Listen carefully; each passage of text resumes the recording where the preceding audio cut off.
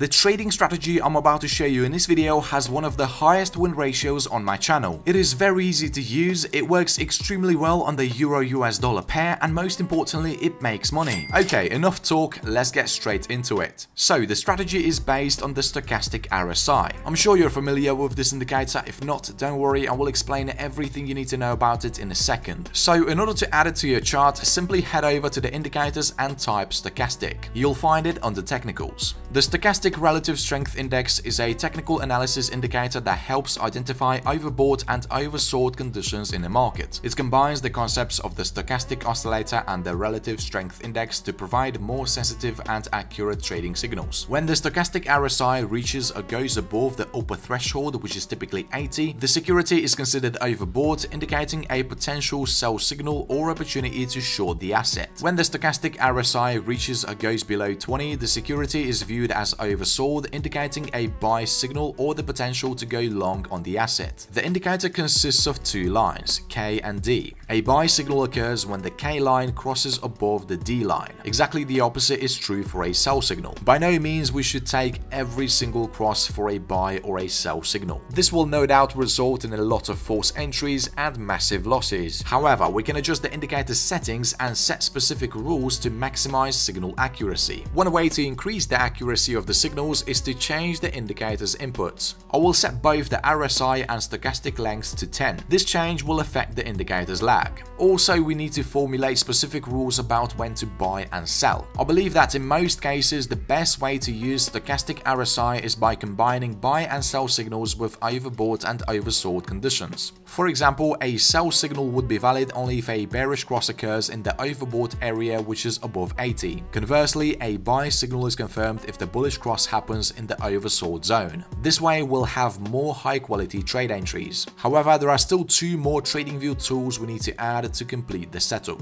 So open the indicators menu and search for signal moving average by LuxAlgo. The settings will remain by default. For the next tool, add heat map volume. This indicator helps visualize the trading volume in different colors based on thresholds. There are 5 volume thresholds, low, normal, medium, high and extra high. The only two we care about are medium and high. I found that trading during extra high or low market volume causes unpredictable price movements. As traders, our goal is to control everything as much as possible to stay safe. So to confirm the signals given by the stochastic RSI, the volume must be either medium or high. Before we start using this indicator, we need to make a minor change in the input section. Simply change the MA length from 610 to 800. Alright, now once we have all the indicators ready, let's move on to the exact rules for entering long and short trades. Let's start with a sell entry. So to open a short trade, the stochastic RSI must first get overbought. Once it gets above 80, we wait for a bearish cross. As we can see, the K line just crossed below the D line. The next step is to confirm the signals with the rest of the indicators indicators. First of all, we check the position of the price against the moving average. You see, when the price gets far away from the moving average, it often signals overbought or oversold market condition. That's why we will go short when the price is closed above the moving average. In addition to these rules, the volume must either be medium or high. If these conditions are met, we place a sell order at the close of the price bar,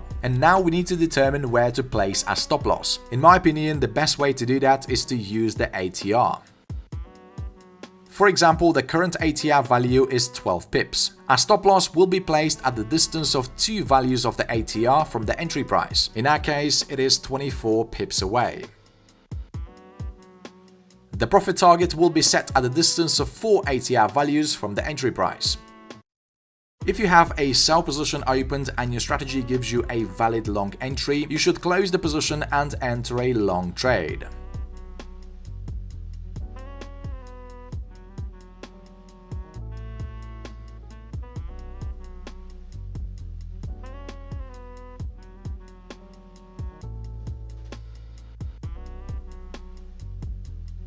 Okay, now let's understand the rules for a long trade. First, the stochastic RSI must get oversold. During the oversold condition, the blue line must cross above the orange line. Remember, the cross must happen below the 20 level. The next condition is to have the price closed below the signal moving average. The further the price is from the MA, the better. Finally, check the state of the market volume. In this example, the volume is high. Open a long trade at the close of the price bar. Just like with short trades, set the stop loss at a distance of of two values of the ATR. The current value is roughly 0.0015, so the stop loss will be set at a distance of 30 pips. Target 2 times the risk. Alright traders, I hope you understand the strategy. So what are the real numbers behind it you might ask, like the win ratio and profit and loss? In order to find all the important metrics behind the strategy, we can either do the manual backtesting, or we can code the strategy in a Pine editor and use the strategy tester. Since I'm not very good at coding, I had to ask ChatGPT to do all the work for me. I took the script, made some adjustments and published it to my TradingView account. I called it Stochastic RSI Algo for Forex and yes, the script is private. I will leave a link to it in the comments down below, all you need to do is to add it to your favorites.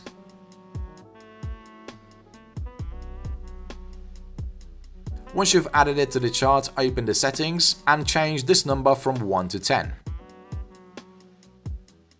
You can also set the initial capital and the order size.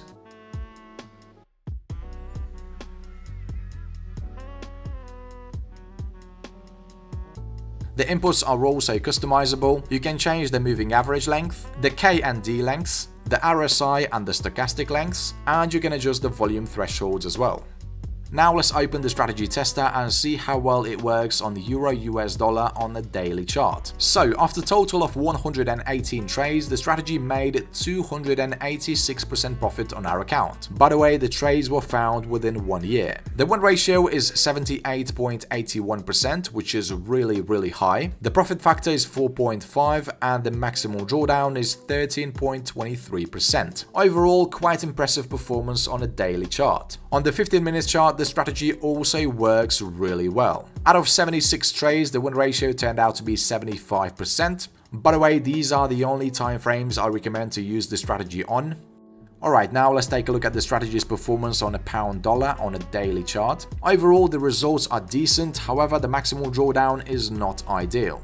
The next pair we're going to test the strategy on is the Aussie US dollar. So the win ratio is nearly 70% and the net profit is also quite impressive. On Dollar the results are also very positive. You can see the entries are quite accurate, especially in a range market. Definitely give it a try and also let us know if you find any good settings.